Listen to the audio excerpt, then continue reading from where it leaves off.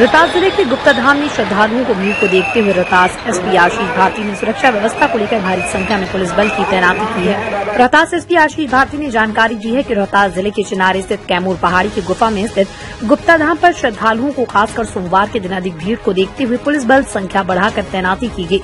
SP Ashish Bharti ने कहा कि श्रद्धालुओं को सुरक्षा और व्यवस्था को लेकर ये तैनाती की गई ताकि अन्य जगहों से पहुँचने वाले श्रद्धालुओं को गुप्ता धाम में किसी प्रकार की परेशानी न हो सके। वहीं प्रशासन पुलिस ने श्रद्धालुओं के लिए पहाड़ी क्षेत्रों में कई जगहों पर जलपान की भी व्यवस्था की है।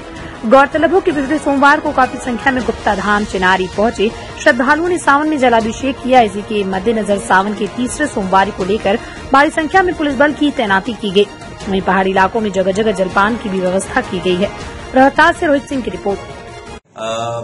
इस बार गुप्ता धाम में श्रद्धालुओं की काफ़ी भीड़ लग रही है।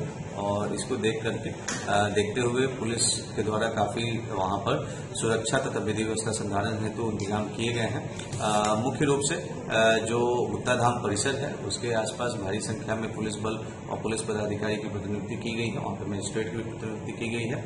इसके अलावा जो वहाँ पे मुख्य रूप से पनियारी धाम से, वहाँ पे घाट से अधिकतर लोग वहाँ पे ट्रेवल करते हैं तो पनियारी घाट के पास भी प्रतिनियुक्ति की गई है। हमारा, हम लोग का प्रयास है कि वहाँ पर भीड़ को संधारित रखते हुए, वहाँ पे भीड़ नियंत्रण करते हुए वहाँ पर हम लोग सभी लोगों को, सभी श्रद्धालुओं का वहाँ पर सुरक्षित माहौल में दर्शन कराना सुनिश्चित करेंगे। इसके लिए लगातार हम लोग प्रयास जारी है।